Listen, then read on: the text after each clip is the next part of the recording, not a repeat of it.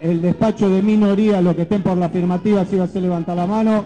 Aprobado por mayoría con los votos negativos de los concejales Milole, Milome, Costa, Burone. Por favor, por favor, por favor.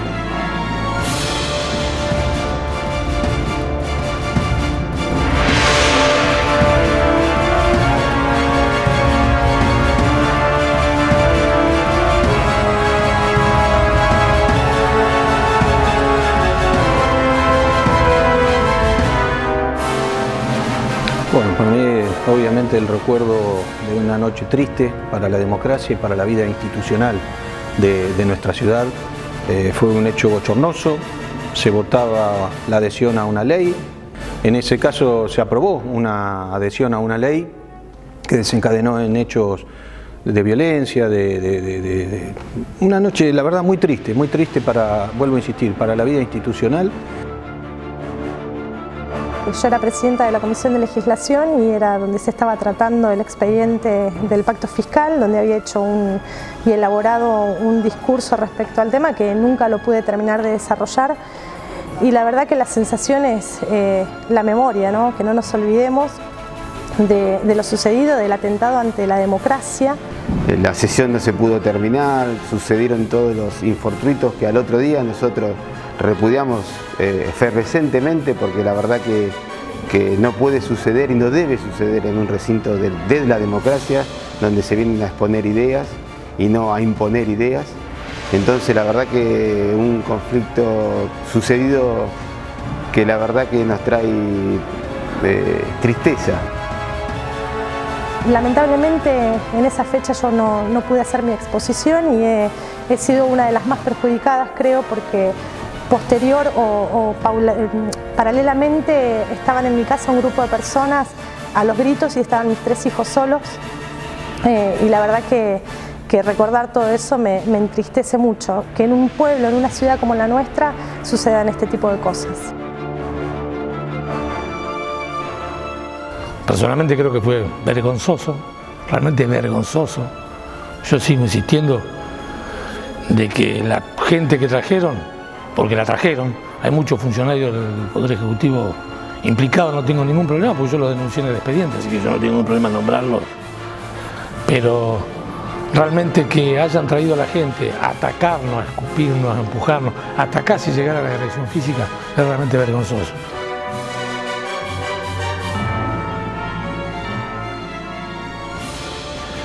Fue una discusión que subió un poco de tono, que eh, algunos trabajadores con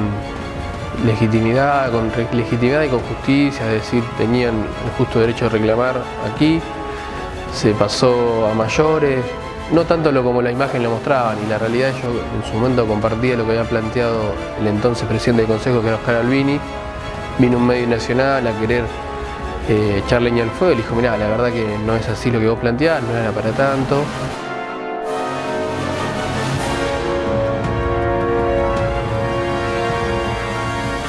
Haber sido o haber intentado ser la contención, por un lado a uno lo llena de, cuestiones positivas porque vos decís no estoy de acuerdo con que esté sucediendo esto y tengo la suficiente autoridad como para plantear que no suceda. El recuerdo es tristísimo, creo que es un hecho que,